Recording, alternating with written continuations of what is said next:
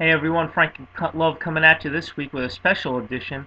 Next week's Monday Night Raw for July 6th. But before we get into that, what we're going to do right now is we're going to talk about this 15 person trade, you know, the one that Trump did the uh, before he got uh, bought out and then fired. All right.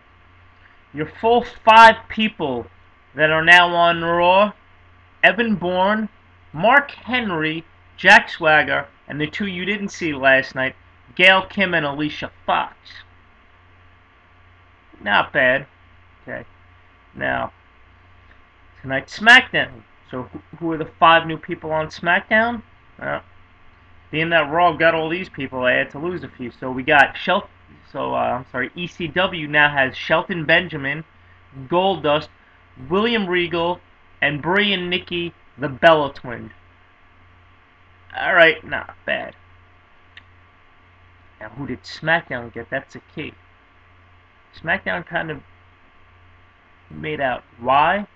Because they got Matt Hardy, Finlay, Natalya, Tyson Kidd, and David Hart Smith. That's right, SmackDown now has the Hart Dynasty. That mm, should be interesting. I mean, it kind of sucks for ECW, but in, in, in the same token, ECW kind of makes out. But anyway, let's talk about Monday Night Raw for July 6th. Show's going to open up with Ted DiBiase Sr., Ted DiBiase Jr., and Cody Rhodes. Sr. puts Cody in a match against Mark Henry and DiBiase Jr. in a match against Randy Orton. Wow. Huh. It's, it's funny how you would think Dad would be the heel, but he's actually the face. Anyway, let's move on. Edge and Chris Jericho once again wrestle Primo and Carlito.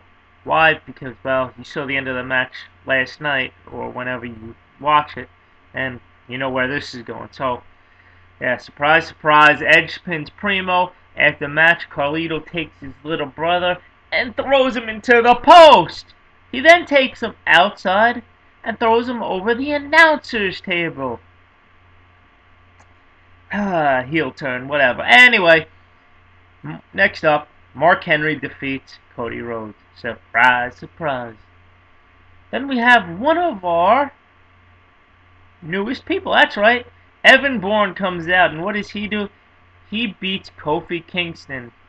And then the big show comes out and beats the fucking piss out of the both of them. Tragedy, you know? Then Randy Orton beats Ted DiBiase Jr. with the RKO. And of course we go into the back and we see Jr screaming at his dad, and he slaps his dad across the face. What kind of fuck up shit is that? What kind of son slaps their father? Oh, you'll find out why later!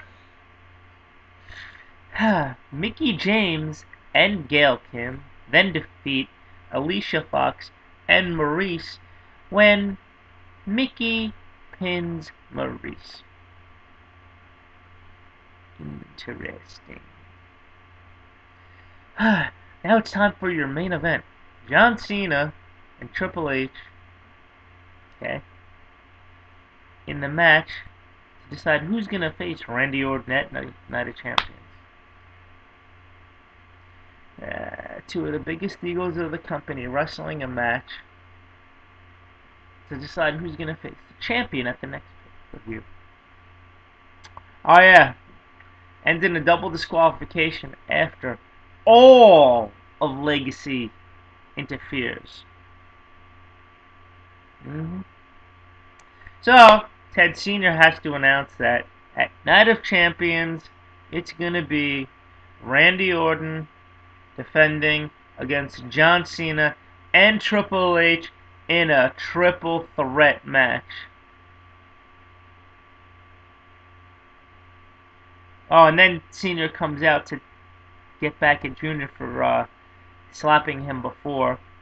Mm-hmm. Oh. Now, I'm not sure if they're going to show it on TV, but it's pretty good, you know? It's always nice to watch a father beat fucking shit out of their son. I'm not saying it happens. I'm not saying it doesn't happen. I'm just saying. and of course, like I said, this may not be on TV, but John Cena and Triple H call out Legacy to the ring. Back, you know, DiBiase and Rhodes ditch Orton, which leads to Orton getting F-U'd and pedigreed. You know, because, you know, it's, it's cool, Yeah. know. You know, because, you know, they just, you know, it's funny how, you know, DiBiase and Rhodes just leave Orton, you know, to, to fucking Triple H and Cena. But hey, whatever. Anyway, that's what's going to happen next week on Monday Night Raw, July 6th. Peace.